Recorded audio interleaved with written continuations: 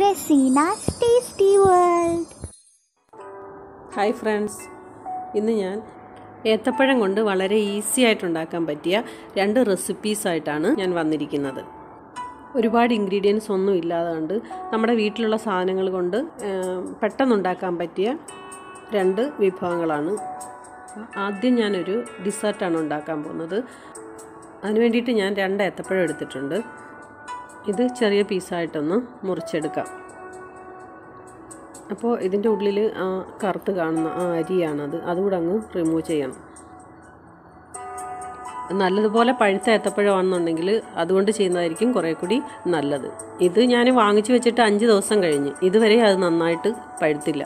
പിന്നെ ഇനിയിപ്പോൾ വെച്ചിരുന്നിട്ട് കാര്യമില്ല എന്ന് പറഞ്ഞെടുത്ത് അങ്ങ് ചെയ്തത് ഇത് നല്ലപോലെ പഴുത്തിട്ടുണ്ട്. പക്ഷേ ആ നല്ല കളറ് വന്നില്ല.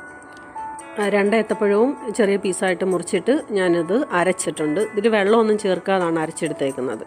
ഇനി ഇതിലേക്ക് ഒരു കപ്പ് പാൽ ചേർത്ത് കൊടുക്കാം.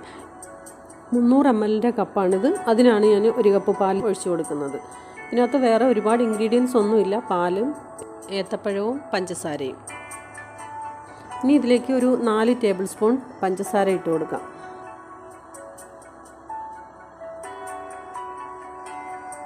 ഇത് നല്ലതുപോലെ ഒന്ന് മിക്സ് ചെയ്ത് കൊടുക്കാം.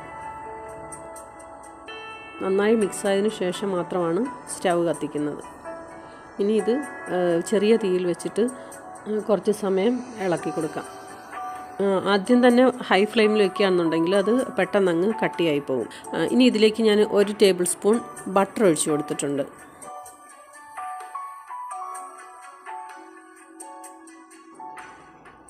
ഇതിലേക്ക് ഒരു ടീസ്പൂൺ വാനില പൗഡർ കൂടി ചേർത്ത് കൊടുക്കാം. വാനില എസൻസ് ആണ് നിങ്ങളുടെ കയ്യിലുള്ളതെന്നുണ്ടെങ്കിൽ അത് ചേർത്ത് കൊടുത്താൽ മതി.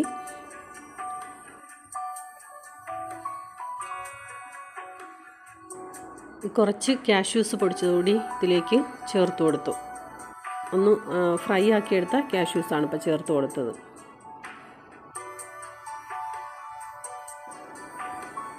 ഈ ഒരു കൺസിസ്റ്റൻസി ആകുമ്പോൾ സ്റ്റൗ ഓഫ് ചെയ്യാം. ഇപ്പോൾ ഇതിന്റെ ചൂടെല്ലാം മാറി ഇതൊരു ബൗളിലേക്ക് സെറ്റ് ചെയ്യാനായിട്ട് മാറ്റാം.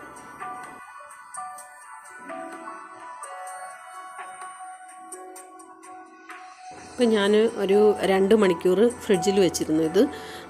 ഇനി ഇത് ഈ പാത്രത്തിലേക്ക് സെർവ് ചെയ്യാം.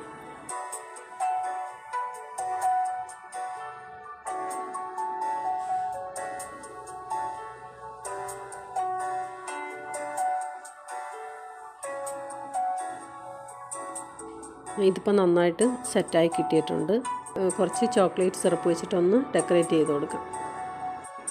ഏത്തപ്പഴം കഴിക്കാൻ ഇഷ്ടമില്ലാത്ത കുട്ടികൾക്കൊക്കെ ആണെങ്കിൽ ഇതേപോലെ ഉണ്ടാക്കി കൊടുക്കുകയെന്നുണ്ടെങ്കിൽ അവർ വളരെ ഇഷ്ടത്തോടു കൂടി ഇത് കഴിച്ചോളും. ഇപ്പോൾ ഇനി ഇതിന്റെ പുറത്ത് ഞാൻ കുറച്ച് പിസ്താച്ചിയോ ക്രഷ് ചെയ്തുകൂടി കൂടി ഇട്ട് കൊടുത്തു.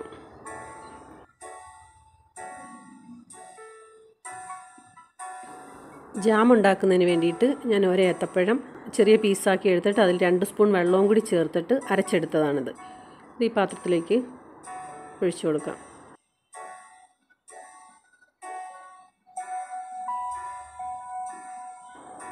ഇനി ഇതിലേക്ക് ഒന്നേകാൽ കപ്പ് വെള്ളം കൂടി ചേർത്ത് കൊടുക്കാം. ഈ ഗ്ലാസ്സിന് ഇത് ഇരുന്നൂറ് എം എല്ലിന്റെ ഗ്ലാസ്സാണ്. ഇനി നല്ലപോലെ ഒന്ന് മിക്സ് ആക്കി കൊടുക്കാം. ഇനി ഇതിലേക്ക് അഞ്ച് ടേബിൾ സ്പൂൺ പഞ്ചസാര കൂടി ചേർത്ത് കൊടുക്കാം. ജാമല്ലേ അതുകൊണ്ട് കുറച്ച് മധുരം കൂടുതലായിട്ട് വേണം. ഇനി സ്റ്റൗ കത്തിക്കാം. ആദ്യം ലോ ഫ്ലെയിമിൽ വേണം ഇട്ട് ഇളക്കി കൊടുക്കേണ്ടത്. പിന്നെ അതുപോലെ തന്നെ വെള്ളവും കൂടി ചേർക്കുന്നത് ഇത് ഏത്തപ്പഴം നന്നായിട്ടൊന്ന് വെന്ത് കിട്ടാൻ വേണ്ടിയിട്ടാണ്.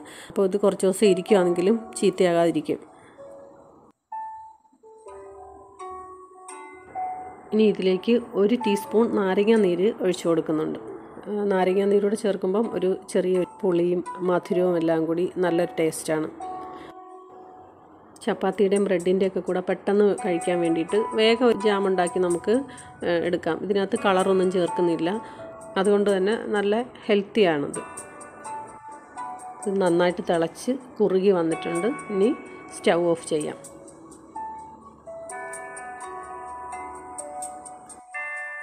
ഇപ്പോൾ ഇതിന്റെ ചൂടെല്ലാം മാറി നല്ലപോലെ തണുത്ത് ഇനി ഇത് ഈ കുപ്പിയിൽ നിന്ന് മാറ്റി കൊടുക്കാം ഇത് ഒരു ദിവസം ഇരിക്കുമ്പോഴത്തേക്കും നല്ലപോലെ നല്ല കട്ടിയായിട്ട് നമ്മൾ സാധാരണ ജാമ് വാങ്ങിക്കുന്ന ആ ഒരു രീതിയിൽ തന്നെ നമുക്ക് കിട്ടും.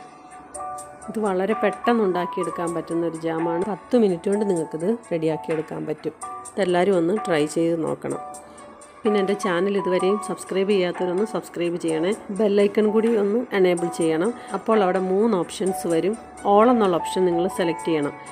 എങ്കിലേ ഞാൻ വീഡിയോസ് അപ്ലോഡ് ചെയ്യുമ്പോൾ അതിന്റെ നോട്ടിഫിക്കേഷൻസ് നിങ്ങൾക്ക് കിട്ടുകയുള്ളൂ.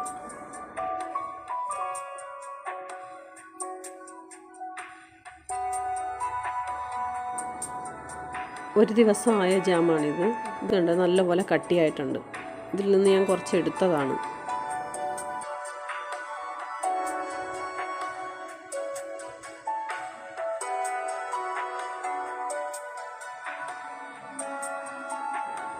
അപ്പോൾ ഇതെല്ലാവരും ഒന്ന് ഉണ്ടാക്കി നോക്കണം. അത് എന്നിട്ട് അതിന്റെ ഫീഡ്ബാക്കൊക്കെ എന്നെ അറിയിക്കണം. കുട്ടികൾക്കും വലിയവർക്കും ഒക്കെ ഒരുപാട് ഇഷ്ടമാകും. വീഡിയോ ഇഷ്ടമായാൽ ലൈക്ക് ചെയ്യുകയും ഷെയർ ചെയ്യുകയും ചെയ്യണം. മറ്റൊരു നല്ല വീഡിയോയുമായി വീണ്ടും കാണാം.